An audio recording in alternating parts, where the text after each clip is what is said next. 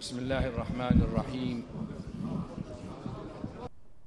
En el nombre de Allah, وصلى el الله misericordioso y وسلم el وبارك compasivo. على سيدنا محمد وعلى آله وصحبه وبعد las alabanzas son para Allah y la paz y las bendiciones de Allah sean con el profeta Muhammad, su Faqad familia sha'a. y sus compañeros. La voluntad inevitable de Allah quiso que antes de la conmemoración del nacimiento del profeta, la paz y las bendiciones de Allah sean con él, ocurriera un accidente muy doloroso para nuestros corazones que ha entristecido profundamente a nuestras almas y sentimientos. A ello no podemos decir más que de Allah somos y a Él hemos de volver. Sin embargo, nos recordamos a nuestros mismos y a nuestras familias, los habitantes de este buen pueblo, paciente frente a la predestinación y el decreto divino, de acuerdo con el hadith profético, es admirable el caso del creyente. Todo asunto encierra un bien para él, y eso no ocurre con otro que no sea creyente, pues se le llega la facilidad y has agradecido, agradecido con Allah, hay un bien para él y se tiene paciencia ante la dificultad, también consiga un bien para él.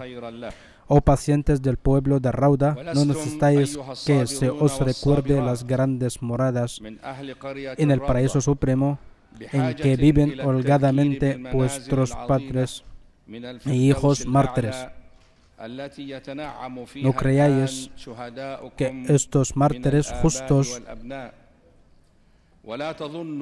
no creáis que hayan sufrido los mismos dolores que padecen los mismos asesinados, ya que el mensajero de Allah dijo en un hadith auténtico, el dolor que sufre el mártir por el asesinato es como lo que uno de vosotros padece de un pellizco. En suma, es suficiente mencionar lo que la ley islámica estableció para el mártir que obtendrá el lugar más elevado después de los profetas y los braces. Por otro lado, en cuanto a los asesinatos que se atrevieron contra Allah y su mensajero y derramaron esta sangre pura en una de las mezquitas de Allah, son Khawarij, desviados o rebeldes, agresores y corruptos en la tierra. Encima, su historia en matar a los musulmanes, a aterrorizar a los seguros, es bien conocida y preservada. El profeta, la paz y las bendiciones de Allah sean con él, les describió, describió a estos asesinos con cualidades a través de las cuales los conocemos. Les describió como jóvenes, en referencia a su prudencia, impulso e ignorancia y les describió de un pensamiento inmaduro y de mal entendimiento. Y advirtió que seríamos engañados por su aspecto, su abundante adoración o su memoración del Sagrado Corán. بمظهرهم وبكثرة عبادتهم وبحفظهم للقرآن الكريم فقراءتهم للقرآن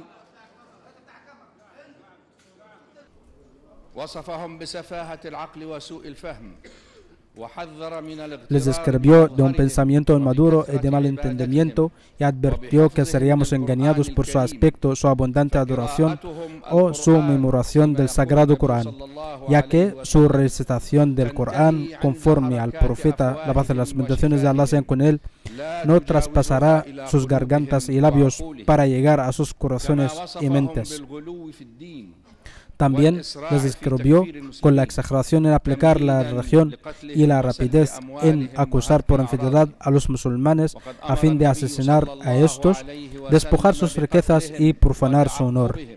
El profeta ordenó matar y perseguir a esta categoría de gente. El profeta ordenó matar y perseguir a esta categoría de gente y prometió a quien la mata con la buena recompensa en el día de la resurrección. El profeta en el hadith auténtico dice, tenemos cuenta de las descripciones. Al final de los tiempos aparecerá un grupo de gente, jóvenes y de pensamiento inmaduro, que hablarán como, como las mejores criaturas recitan el Corán, pero este no traspasará sus gargantas. Saldrán de la región como sale la flecha disparada del arco. Entonces, si os encontráis con ellos, compartidlos. Entonces, si os encontráis con ellos, compartidlos, y a que los compartís, Allah os recompensará en el día de la resurrección. De igual modo, Allah ha puesto de relieve el castigo de esas personas en Sagrado Corán en la lía que todos rezamos muy bien, donde Allah dice el pago para los que hagan la guerra a Allah y a su mensajero y se dediquen a corromper la tierra será la muerte o la crucifixión o que se les corte la mano, el pie contrario o que se les expulse del país. Para ellos una humillación en esta vida, pero en la otra última tendrán un inmenso castigo.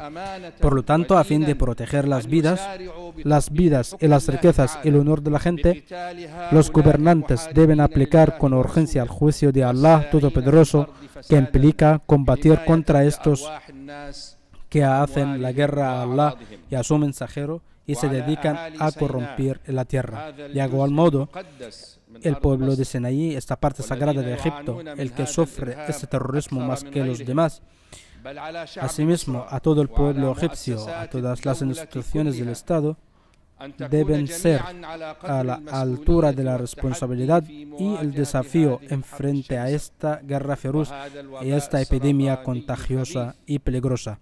Egipto, con la ayuda de Allah enaltecido sea, con su historia, los esfuerzos de su pueblo, heroico ejército y los valientes policías de la Guardia Civil es capaz de superar esta etapa de difícil y acabar con este terrorismo ajeno a nuestra tierra y a nuestros jóvenes, tanto en su forma, tema, pensamiento, como en su creencia. Y al final de mi discurso, me gustaría decir a la gente de este buen pueblo, estamos aquí para asegurarles que todo Egipto que todo Egipto siente lo que sentís y le duele lo que os duele sobre todo el Azhar, que asistió con sus ulemas, sus líderes religiosos, hijos y hijas, para daros consuelo y confortaos en vuestra calamidad y colaboraros en desarrollar este pueblo científico y desarrollar este pueblo científica, sanitaria y socialmente. Dicho esto, quisiera afirmar que estoy convencido de que el mundo entero no compensa una gota de sangre derramada de esos seres puros. Pero estamos cumpliendo parte de vuestro derecho y tratando de conseguir el honor de dedicar esfuerzo para serviros. La paz y las bendiciones de Allah sean con ustedes.